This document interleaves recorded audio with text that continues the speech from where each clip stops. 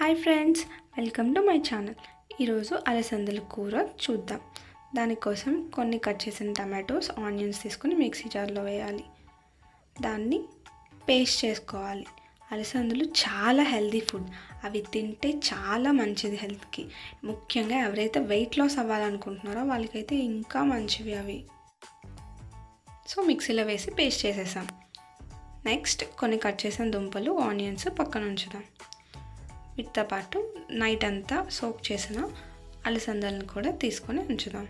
వీటినే black I'd beans అని కూడా అంటారు. ఇంకా నార్త్ ఇండియన్స్ అయితే లోబియా అంటారు. సో ఒక ప్యాన్ తీసుకుందాం. దాంట్లో నానబెట్టిన అలసందలు. నెక్స్ట్ కట్ చేసుకున్న పొటాటోస్ని కూడా వేసుకుందాం.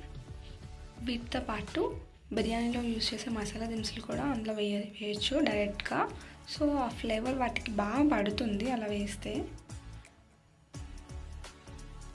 నేను దీంట్లో జస్ట్ బిర్యానీ ఆకులు మాత్రమే ఒక రెండు కడిగేసి వేసాను బిర్యానీ ఆకులు బయట నుంచి తెచ్చుకుని డెఫినెట్గా వాష్ చేసి వేసుకోండి అప్పుడే బాగుంటుంది. అంటే వాటి మీద డస్ట్ అది పోతుంది. సో ఇందులో కొంచెం సాల్ట్ వేద్దాం ఇవి ఉడకడానికి. సో ఇంకా లిడ్ పెట్టేస్తున్నాను.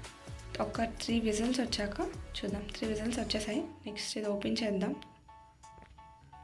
సో బాగా కుక్ అయిపోయింది. ఇప్పుడు వీటిని అన్నిటిని మనం స్ట్రెయిన్ చేసేద్దాం. స్ట్రైనర్లో స్ట్రెయిన్ చేసి పక్కన ఉంచుదాం. నెక్స్ట్ సేమ్ అదే కుక్కర్ పెట్టి కొంచెం ఆయిల్ వేసాను. అందులో మనం ఆ టమాటా పేస్ట్ ఉంది కదా అది కొంచెం వేసి బాగా ఫ్రై చేద్దాం. నెక్స్ట్ ఇంకొక కడాయి పెట్టాను. అందులో కొంచెం ఆయిల్ వేసి కట్ చేసి ఉంచుకున్నాం కదా ఆనియన్స్ అన్నీ అందులో వేసాను. వాటిని బాగా ఫ్రై చేద్దాం.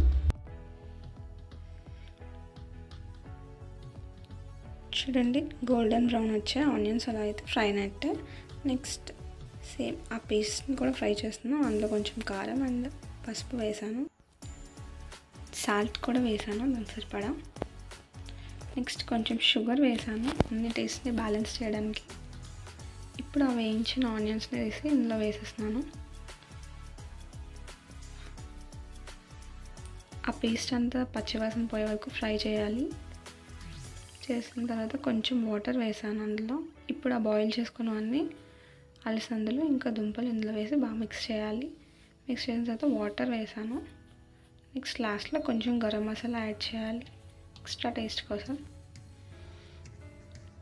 కర్రీని బాగా మిక్స్ చేయాలి. ఒక త్రీ మినిట్స్ ఇలా సిమ్మర్లో కుక్ చేయాలి. అప్పుడు మొత్తం ఫ్లేవర్ అంతా దుంపలకి ఇంకా అలసందలకి బాగా పడుతుంది. కర్రీ అయితే అయిపోయింది. టేస్ట్ చాలా బాగుంది.